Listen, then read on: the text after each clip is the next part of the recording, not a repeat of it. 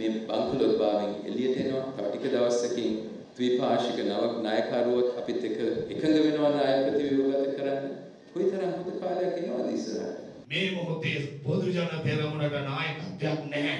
මේ කෙලසිඳ දාපු කවන්දයයි අද පොදුජන පෙරමුණ කියා සාහසික කල්ලියක් අල්ලාගෙන සිටිනවා. රට ගොඩගත්ත රනිල් වික්‍රමසිංහයන්ට මැතිවරණ නැතුව තවදුරටත් ඉස්සරහට යන්න ඉඩ දෙන්න ඕන කියන අදහස මේ සමාජයේ තියෙනවා. සනත් ජයසූරිය රොමේෂ් කල්විතාරණයි දෙන්න ගැහුවා අරවින්ද සිල්ලගේ පරිණතභාවයෙන් තමයි වර්ල්ඩ් කප් එක ගත්තේ. ඒ නිසා රටට පරිණත ක්‍රීඩකයෙක් අවශ්‍යයි. ටෙස්ටිං ඉවරයි. අපි කවුද මනමාලය කියන එක සම්බන්ධයෙන් ඒවැ පොරොන්දම් බලන්න ඕන හරියාකාරව නැකත් බලන්න ඕන ඒව හරියට වුණාම තමයි මගුල්ගයක් ගන්න පුළුවන්. සමහර තැන්වල තියෙනවා මනමාලයාව හොයාගෙන ගිහිල්ලා මනමාලයා ගෙදරට මනමාලි ගැන වැරදි කියන. ඒ නිසා අපි નિયમિત වෙලාවට මනමාලයාව එළියට දානවා. මේ මැතිවරණදී ලක්ෂ 40ක් 50ක් ගන්න එකම අපේක්ෂකයා රනිල් වික්‍රමසිංහ විතරයි. මම සජිත් ප්‍රේමදාසට කියනවා. අපිත් එක හිටපු මිනිහෙක් කියලා කියන්නත් ලැජ්ජයි මහත්තයෝ. දැන් ওই විපක්ෂ නායකකමේ හැවා ඇති දෙයියන්ගේ නාමයට ඕක අර පොන්සේකට බාර දීලා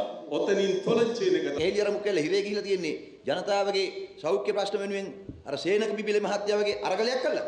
නෑ මේ ගජමිතුරු ආර්ථිකේ ගජමිතුරු දේශපාලනයයි මෙරට පාදල කරන එකලා මම ඉන්න සීට් එක ඉඳගෙන බලන්න ඕනේ බිලියන 1000ක ප්‍රශ්නයක් තියෙනවා.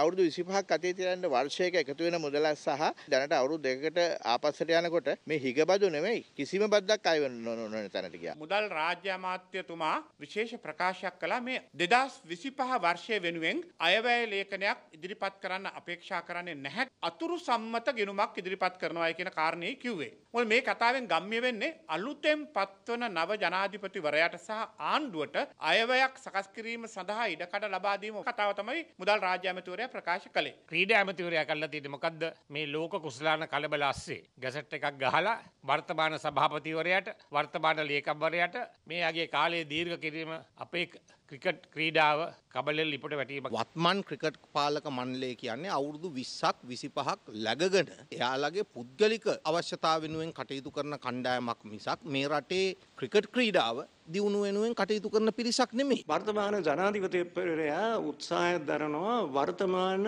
නීතිපති ජනාධිපති නීතිඥ සංජය රාජරත්නම් මැතිතුමාගේ නිල කාලය මාස 6කින් දීර්ඝ කිරීම. ජනාධිපතිවරණය ආරම්භ කිරීමේ ක්‍රියාදාමය තව දවස් 34කින් ආරම්භ වෙනවා.